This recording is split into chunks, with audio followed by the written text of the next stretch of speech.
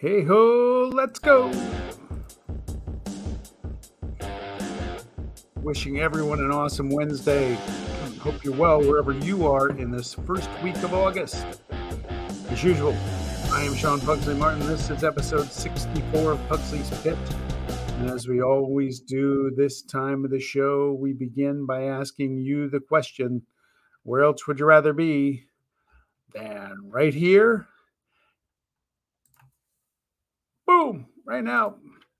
By way of introduction, I'm a freelance sports writer for the Albany Times Union, avid sports enthusiast, big time homer for my teams with some reality, but without apologies. Uh, you can follow the show on Twitter as always at, or is it X? Now I'll call it Twitter, at Pugsley's Pit, taking the podcast, YouTube, Apple, Spotify. I'm sure we get our coffee. Later in the My World segment, a little bit in a Raiders camp on the season of uh, despair that's coming up. Maybe squeezing a call to A's President Dave Kaval. I haven't talked to him in a couple weeks, or he hasn't heard my golden voice on his answering machine because he still won't call me back. Just to remind him, him and his boss are tools. Uh, but with that, let's welcome back a friend of the show, Mr. I'm excited today. This is a good one. Mr. Chris Onorato, WNYT 13 here in Albany in the 518, and podcast host extraordinary. Mr. Onorato, how are you today? I'm good, Sean. I'm good, man. Uh, I'm looking forward to what I believe is the best time on the sports calendar, which is, you know, playoff race baseball, start of the NFL season, NBA training camps will be in, hockey is right around the corner. It's yes. when all four come together at once. It's beautiful. It is awesome. It is awesome. It uh, yeah, football's coming. I, I, said in the opening, I'm not really enthusiastic about the Raiders because, um, well, let's just show it. Oh boy, tough division. Tough division. Yeah, well, yeah, yeah, and incumbent up top. But the deadline was yesterday. For my team, there we actually moved a couple guys and got a couple other players that will never get paid anything by this owner. but I'm, i want to start first with, with the local interest teams here in the 518. You got the Mets, the Yankees, and the Red Sox. I'll give Steve Cohen credit. He had a plan. It went sideways from day one. Okay, he spent a lot of money. He maybe didn't think out that plan. It's been a disaster for the Mets. And what I find even more interesting is the guy spent like over $70 million to Houston and Texas just to get them to take the guys. Yeah, it was the only way they were going to get any decent prospects back, right? Like. Houston and Texas weren't going to take on those salaries and give you some of their best prospects. But uh, to me, if you're Steve Cohen, it's worth the payout because you're going to get the number one prospect in the Astros system and then a top 50 overall prospect uh, from the Rangers system, who just happens to be Ronald Acuna's brother. So, yeah. um, it's it's the right move. This team wasn't going to win this year, and quite frankly, Sean, they weren't going to win next year the way they were constituted. You just, I, I just never believed you could lean on two 40 year old aces and go win a World Series. I also didn't like the lineup. Now, when when it looked like they were going to have Carlos Correa as part of the team, I thought, oh, okay, there's there's length in this lineup now yeah. where the top five guys are dangerous. But I, I just didn't like the way the lineup was put together without Correa. You know, banking on I like Starling Marte, but banking on Marte to have another career year, Mark Canha to have another career year, Eduardo Escobar to have another career year. Like it just wasn't. It's just wasn't going to happen. Um, and then I didn't like the the pitching enough beyond the two guys at the top. So the Mets are doing the right thing here yeah. It's just, you know, can the fan base be patient enough for 2026 probably? Yeah, it's a, you know, I'm just thinking about thankfully I'm not a Met fan because they got to be used to it by now, but you go back 4 months, 5 months to, to spring training and, you know, they got a 380 million dollar payroll. Steve Cohen's no. all in. This is the year. Look, we brought in some veteran guys and here you are selling at the trade deadline. I can't I can't imagine too many people could picture that uh, before the season started. No, and, and truth be told, I really thought they would hang on to Verlander. Um, yeah. Clearly, I, the offer was just, hey, we're going to give you our top prospect, and then and then another guy. A lot of people like at the low minor league level. Um, but I really did think they'd keep Verlander. Verlander has said he likes New York. Yep. I'm sure his wife likes New York. Um, keep him, and then at least you're you can trick yourself into thinking you'll be competitive next year, right? Or at least there, yeah. there's the foundation there with Verlander and Quintana. Diaz comes back healthy at the back end. Um, but it's a it's a reboot. It's a full reboot, and I'm surprised they didn't trade more away. To be honest with you. Yeah, yeah. It's I get it. it again, it's not bad. Hey, we tried it. It didn't work, but we got to regroup and do something quick. The other story, the other side of, of New York City in the Bronx, we had Chris Vitale and Mike Nelson on from Ball Nine last week, and they squarely blamed Brian Cashman for this year. Of course. But I, I also think that Yankee fans don't understand that Hal Steinbrenner is never going to spend money. Not not the way his dad did. He's got a high payroll. He has to have a high payroll. He's a Yankee. But he's not going to go Steve Cohen anytime soon. Um, but to get two middle relievers and then come out and say, this is the team we have, this is the team we like, we're going with our group. I don't know how you square that when you build expectations around this franchise to a fan base that it's World Series or bust every year. Yeah, I, again, I know this would be if if I were Brian Cashman, I wanted to wanted to keep my job long term. I would have torn the thing down completely at this deadline and this winter. I would have made everybody other than Aaron Judge available. Everybody, even Gerrit Cole. I would have said to myself, I'm paying this starting pitcher who's obviously very, very good, a lot of money. What 36 million a year? I think he's making. Um, we're not winning now. We're not going to win next year the way this team is set up. Um, build this thing back up. I, I, I just, again, this is a roster I didn't like and I haven't liked for a long time. We saw it play out every single October the same exact way. Couldn't make productive outs, struck out way too much.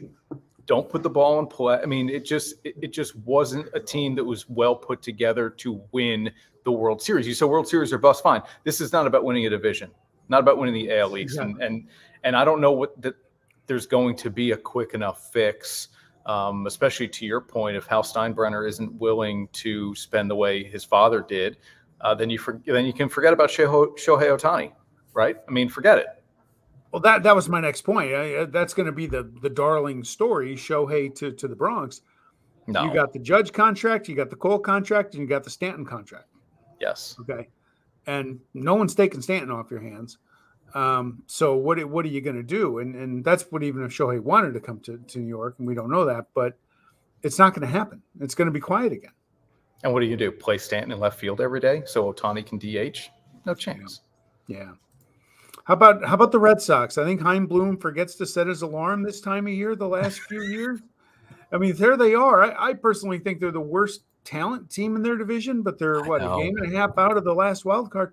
And here they are. Credit to Alex Cora, who, who is showing he can manage.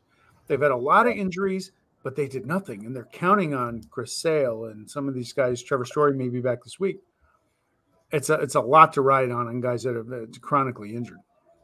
But I, I, I look at it this way too. If you're Boston, I think it's just being real with yourselves. Like we're not good enough to compete this year. So getting to the postseason as maybe the second wild card sounds nice, but is it worth, you know, giving up young talent to try to bring in rentals for a postseason that probably won't bear a lot of fruit anyways? And and this is like the most difficult time of year to be patient because uh, everybody wants you to do something, right? Like, hey, show us you're you're trying to win. That's what we all yes. want to see as a fan.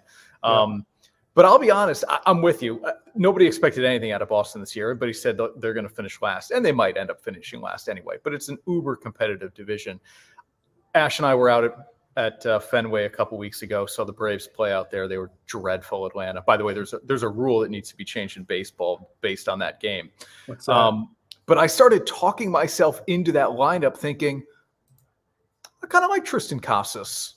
I kind of like this guy. I kind of like that guy. Like he's not bad. You know, they have pieces, right? I mean, it's all centered around Devers, and then they have pieces that you could kind of uh, put together with one or two other like really big time players um, and maybe win. I, I, I don't know. It's uh, it's it's going to be a tough division for a long time. Baltimore isn't going anywhere anytime soon. They're very no. good. And, and, again, it took a full teardown. I mean, look, they've been dreadful for years and years and years, but they did eventually just say, we are bottoming this thing out.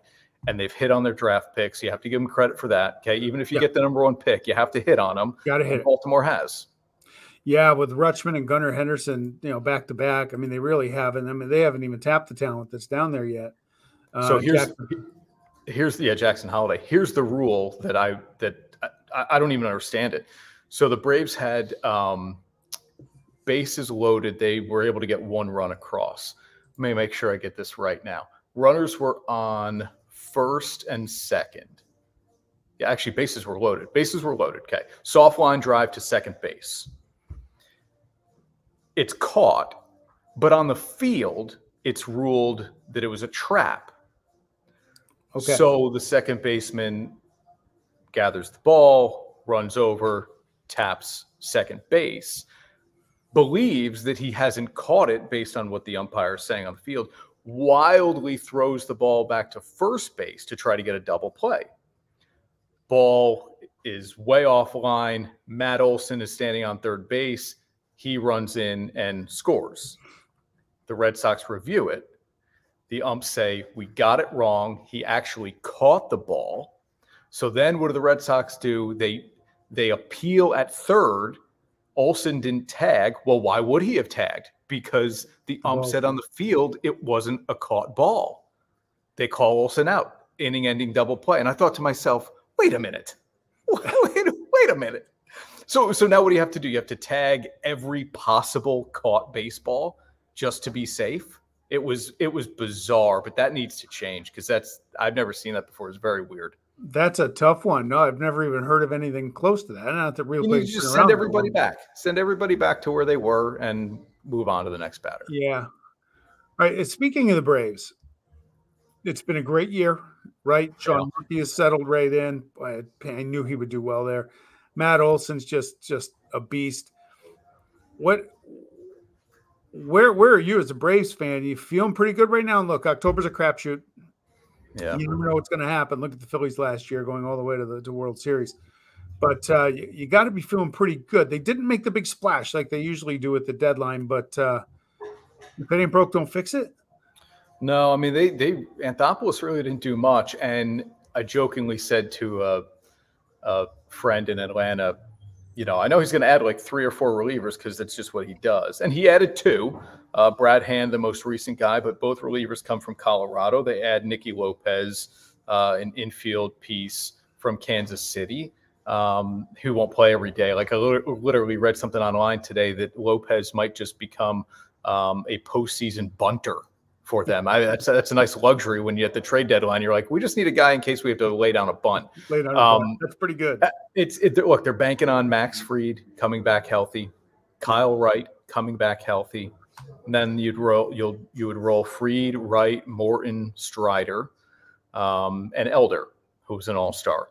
That would be your rotation, assuming everything kind of goes according to plan. You've got AJ Minter coming back off the injured list, so you pair him with Hand, two lefties out of the bullpen. They've called up some young guys, uh, hard throwing uh, out of the minors as well to to try to help with that bullpen. So, you know, look, if I wanted something, it was a starting pitcher because I just don't. You can't trust that Fried and Wright are both going to be healthy for the long term yep. and into October. So, but the, but what would you change about the lineup? you know, maybe you'd like it. Maybe you don't want to play Ozuna every day at DH, and maybe you don't want to play Rosario in left field every day. There was talk about maybe Adam Duvall coming back, but um, th- there just wasn't a lot that you felt like you had to, or really could even justify doing. Yeah. I I love what the Braves have. I they're they're and they're a fun team. Now look, I'm a big Matt Olson's my favorite player. Love Sean Murphy, but but the other guy, and you only mentioned him in passing reference, uh, Ronald Acuna is yeah. he he's the guy. Like I want my teams to win in baseball, but one of the things that really I, I it bothers me is when the great players get hurt because now everyone's kind of robbed of seeing just how great these guys are. Right. And Ronald Acuna had the injury the year they won the World Series, but he's he's a beast. He really is. He's the best position player in baseball, and I don't even think it's close. Um, Ohtani's the best player, but if you're just taking a guy who's in the lineup every day and playing the field, it's it's Acuna. Um, Ash and I had a little bit of like a quick. She said Aaron Judge, best right fielder in baseball. This is you know weeks ago when he was healthy, and I went, whoa, whoa, whoa, whoa, wait a minute. Uh, I think it's Ronald, you know, and but but it's a fun conversation to have. You get Judge who had 62 bombs last year yeah. and wins MVP, and here I am arguing that no, it's it's Ronald Acuna Jr. who who will win MVP this year if if things stay the way they are. Um, which is funny. It'll go like Acuna, Freddie Freeman, Matt Olson. Uh, yeah, right. Is the way it's, it's stacked up to be right now. Yeah, Acuna is so much fun to watch, and the new rules have just made him more fun. He I, he walked twice on uh, Tuesday night, and I looked over at Ash and I said, just put him on second. He's going to go steal. Now it was a lefty pitcher. He didn't he actually got picked off. But but as soon as he gets on first, Sean, yeah. you just are like, this is great because I'm going to see a stolen base attempt. And we never saw those in the last five years from most guys. He's got 51 swipes now uh, as we enter August. It, it just the rules have benefited him. The pitch clock, the number of times you're allowed to throw over, and the bigger bases. It's it's fun you know, when is the time? I didn't even realize that this was gone. I was watching some old A's clips from the 70s a couple weeks ago. Maybe they should bring it back. Remember on baseball telecast, they would go with the split screen? Oh yeah, yeah, yeah. Camera view with the and then the the first. I'm like, maybe it's time to bring those back with the way the steal has come back into the game. Yeah, or at least that one shot from the. I'm assuming a righty's on, or it doesn't matter. Third baseline, right where I can see the runner. Yeah just beyond in the distance from the pitcher, and I can see if he runs, and then you cut to the other shot. Um, yeah, the, you're right. The the box, that's the, the move. split box. Yep. There, there are a couple other things uh, just with the trade deadline. You know, I really liked. I liked what the Cubs did. Getting Candelaria for third, holding on to Bellinger, who's got a new lease on life there. Because again, if, if you're close enough, I, I like it when the Cubs are good, right? Baseball's better when the Cubs are relevant. Wrigley Field is is just a cathedral. Um, the other team I like Arizona, a minor move, but getting Paul Sewald to shore up that bullpen is going to make them tough. Is, is there any moves that you you were surprised about, or any moves that didn't happen? Ooh. Well, you know, look, selfishly, I at least wanted there to be Ohtani buzz yes. right up until 6 p.m. on Tuesday. Uh, the Angel shot that down about a week ahead of time. Um, you know, I, look, the Angels are doing what they can to say we are serious about winning. We're yeah. going to make you the largest offer. If you choose to lose, if you choose to leave, it won't be over money. Uh, it'll be because we keep losing. Um, yeah, anything that blew, there was nothing really that blew me away where I said this swings it. Here's what I'm interested in most now is the AL West. I think yeah. um, it's it's Houston and it's Texas uh, did the Astros getting Verlander back and now seeing Framber Valdez, former Valley Cat, throw a no hitter? Um, does that swing the AL West? Is, is does Scherzer return to form that we didn't see this season in New York that makes the Rangers a real viable contender? Right, like we all think it's kind of fun. Hey, Rangers are good, but yeah. anybody believing they're going to win the World Series this year, doubtful. So I, you know, the Angels, the Rangers, and the Astros, that's kind of fun out west. Yeah, I also like getting Jordan Montgomery. He'll give you some innings uh, yeah. for the left side for the Rangers for sure. Yep. Um, you know, Houston, anytime you bring Kate up to, to town, that's a win. You know, her husband's coming along, I guess, but uh, you know that's not a bad thing. But yeah, the West, Seattle, Seattle's three games over 500, but they didn't do a thing. in the A's, you know, just John Fisher, sell, sell.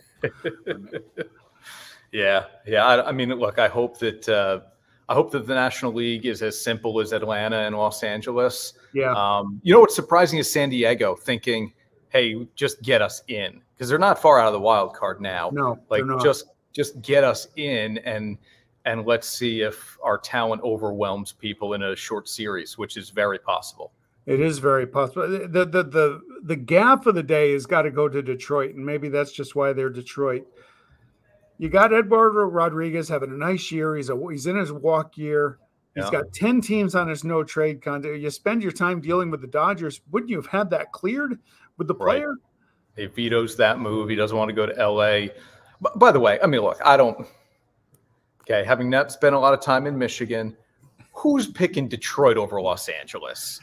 Let's I, be honest. I, they said he wanted to stay on the East Coast to be with his family. I get that, but Michigan's not August. the East Coast. It's it's also August. It's not the East Coast, Michigan. It has coasts of lakes, but not a, there's no coast. The season's over in three months. Go to LA, try and win a world title, and then sign right. on the East Coast next year. I mean, I, am never going to begrudge somebody for being a family man, but no, of course not. My goodness, you're right. You, LA, you, are going to be in the playoffs. No matter yeah. what you do, you're going to be in the playoffs. You got a chance right. to win something.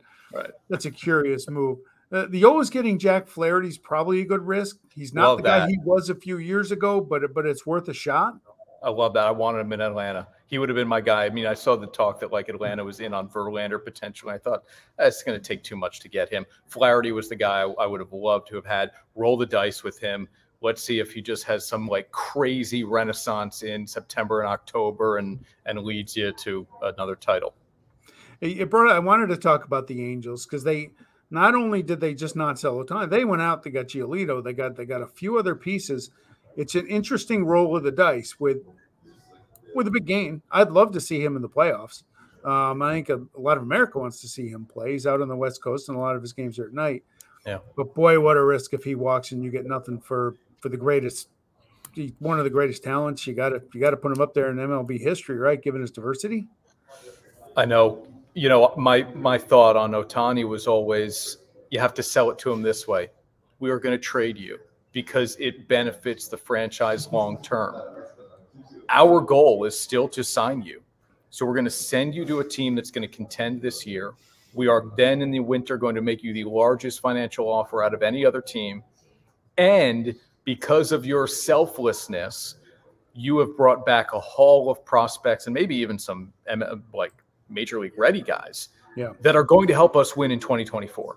You come back, Trout's healthy. Uh, we are going to win in 20 but but I think it's a hard sell. It's a hard sell to make to somebody like it's like breaking up with your girlfriend like, "Listen, honey, let's take a 3-month break, okay?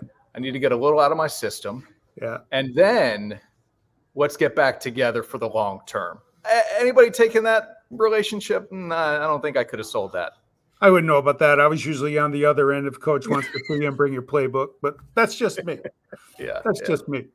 What, what do you see for the next few months, the, the rest of the regular season? You know, you, it, the Braves, obviously the Dodgers.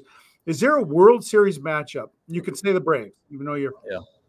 Homer what pick. World Series matchup would hold the most intrigue for you as a baseball guy? As a baseball guy, Dodgers Angels. Okay. Because because everybody assumes, including me, that Ohtani's going to sign with the Dodgers. But would he do that if the Angels beat the Dodgers in the World Series? Like, would you go to the losing team who you just beat? That's a weird look.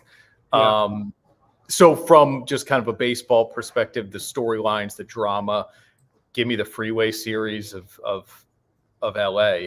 Uh, but obviously, I want the Braves involved. Um, there's nothing doing for me out of the AL Central.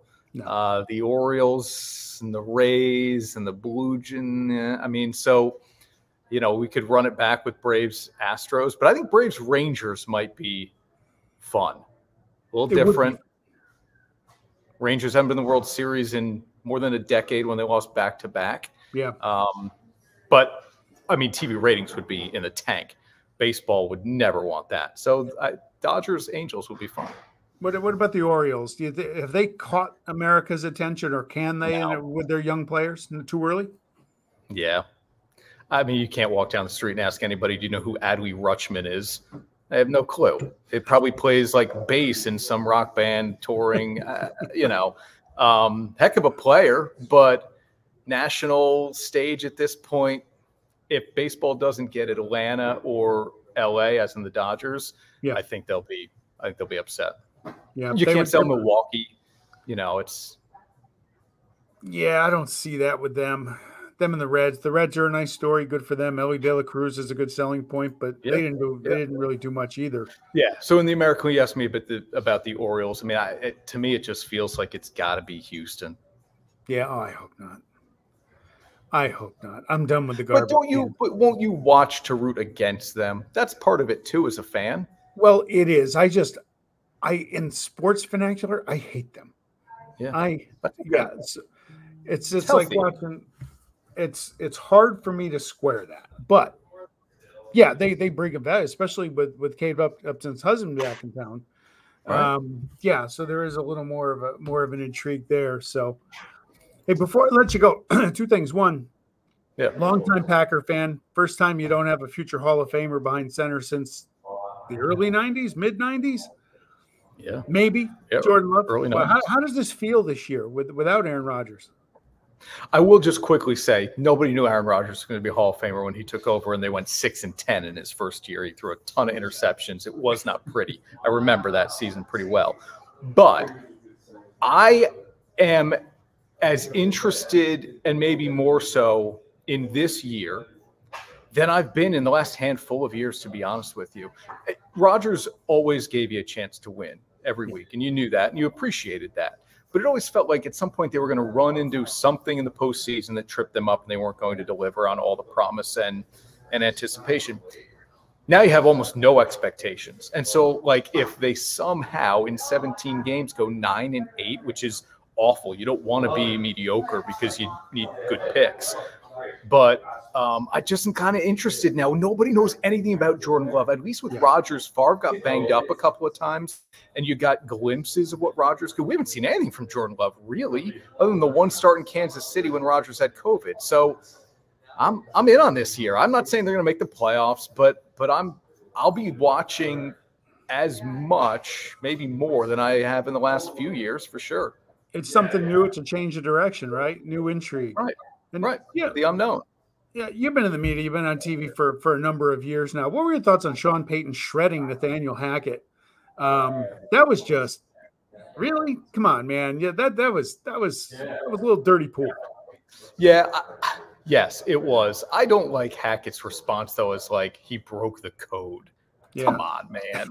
you know, like let's not pretend. Let's not just put it out there that you have this fraternity where nobody's allowed to say anything about the other one. Um, I don't like what he did, but I get what he did. He's he's trying to make Russell Wilson feel the love, and and that was one heck of a way to try to do it. And Sean Payton's been a little like gruff at times in other areas too, yeah. right? He's not afraid to kind of speak his mind and be who he is. So um, I didn't love it, but I really was not turned off by it the way so many other people were. Yeah. Just tell us about your podcast. You guys just had an announcement yeah, man. out. Why don't you go with that and where where can they find you? Yeah, so it's called Onorato and Miller, very original, um, and it, uh, it live streams every Thursday night at 6:30 p.m. Eastern on News Channel 13's Facebook, Twitter, and YouTube. And then if you live in the capital region of New York, uh, it airs a couple of times over the weekend as well. You can find that on your guide. Um, but yeah, we're we're much like you, Sean. We're we're just sports fans, man. We want to kick it around for an hour, bring on some guests, and uh, and have a good time. So we do that every week. That's awesome, my friend. Thank you, buddy. Hey, it's great getting caught up with you. We'll talk to you soon. I hope. Always with you, man. Thank you, dude. Chris. We'll see you. Good to be on with you. Thanks, Sean. I know. That was Mr. Chris Onorato, uh, Onorato Miller. For those that don't know, uh, the Miller in that is, is Ashley Miller, um, Chris's wife, who's who's been on the show a number of times, and uh, my former co-host with Eric McDowell on M&M and M Across the Board, our former podcast um, from years back. Let's go to the My World segment. Uh, spirited practice yesterday in Vegas. If uh, if what I read was accurate, it looked like Mac, Maxx Crosby was locking up with uh, rookie tight end Michael Mayer a um, little bit and said that was a highlight as, as Maxx welcomed the um, the former Notre Damer. Um, but it's good to see everybody on the field. Uh, Garoppolo teammates are saying all the right things about him. Um, you know, we've heard some good things and bad things in practice. It's just practice. It's just early, but um, try and get optimistic um, about the season, though. Uh, we'll see. But anyway, I saw a few things on on Twitter. A few Raider fans questioning Josh Jacobs for for turning down the twelve million dollar uh, offer from the Raiders. Look, here's the deal, man. That, that number's fine for one year. It's more than the tag, which is ten plus, but that's not about one year. For Josh Jacobs, 25. And with the way the NFL is treating running backs right now, this is going to be Josh Jacobs' biggest contract year. You know, he could go sign a three, four year deal somewhere and he's going to get paid. And then he may have to do it again in a couple of years, but a couple of years in NFL terms, 28's older for running back and the money's not going to be there. You got you got to respect Jacobs' position um, here. He's trying to maximize his earning potential, and this is his time to do it. And you know what? The, you blame the Raiders, can blame themselves. Um, these morons here um, not me. Sorry. Maybe that's a Freudian slip, but they um, they're the ones that got rid of this fifth year guarantee, and they're the ones that caused this, and now they got to deal with it. And none of it matters at this point, anyway, because they can't negotiate again until after the season. So expect Jacobs to hit town uh, the Monday before the opener and, and and sign his tag and come in. And I just hope he's in shape because usually a lot of times guys that miss camp come in, they start to play, they get hurt, they're not. You know, working out on your own is one thing, but training with the team is another. Hopefully that doesn't happen here. He's not going to sit out. It, it makes no sense. All he does is get a year older. He loses a year of revenue generating time in his career, and um, the tag doesn't go away. So you either play on that 10 plus million tag this year, or you sit out and you play on it next year. Um, so hopefully it is what it is. Hopefully he gets in and we see the same Josh Jacobs as last year. Uh, last Tuesday night, the Unite the Bay. Shout out to uh, to the Giants fans um, for joining in A's fans and, and chanting the uh, the summer of sell, as it were. Uh, it gained momentum in San Francisco. It carried over into Denver over the weekend in Colorado with the A's out there, and there's been some Giants fans uh, chanting "Sell the team" as well as the top of the fifth. Appreciate uh, their support through this. Um, you know, at the, at the, top of the fifth, and you know the the thing that I wanted to make sure I, I got today was um, I'm going to call Dave Kaval as uh, as we speak. But the thing that blew my mind, there's a the A's group, the 68s, Oakland 68s, and and and the other groups out there that are trying to create awareness and try and save this team. They announced another Unite the Bay night uh, this Saturday uh, in Oakland against the Giants. Please hold while I try to connect you. Uh, Mr. Kaval's not answering his phone. So after this is announced, uh, the A's announced that they're raising ticket prices for that game only. So an average ticket price of twenty-seven dollars is now forty-four for that one game only. It's just the, the slime and sleaze, the level of slime and sleeves in, in the East Bay um, is remarkable, absolutely remarkable. So that's what you get. You know, you bring in a clown. Your call has been forwarded to oh, voicemail for David Kaval. No one is available to take your call. At the tone, please record your message. When you've finished recording, you may hang up or press the pound key for more options. Dave, buddy, Sean Martin, Albany, New York, calling Pugsley's Pit. How you been? You haven't, I don't know, 18 calls now? Call me back, buddy. Look, I'm just curious. On the 5th, you hear another Unite the Bay night to further embarrass you guys. Not that you guys need to be embarrassed anymore because your own actions are, are embarrassing. You've, you've, your degree from Stanford has completely devalued the entire uh, university there. And I'm sure they, they appreciate it. But uh, raising ticket prices for one game, you guys are slime. Jeez, just sell the team. Tell when you get done cleaning Mr. Fisher's pool, just tell the man, sell the team. Let's move on. You'll find a job somewhere, buddy. Pool cleaner. Open your own business. Hey, I got a big, good bookkeeping uh, company here in Albany can help you with your pool cleaning business. We can do it remote. There's no borders. There's no oceans here in the internet. So I got for you. I got a good referral for you, buddy. So uh, yeah, I'm your guy. Bye now. Oh, Dave, he's never going to answer the phone.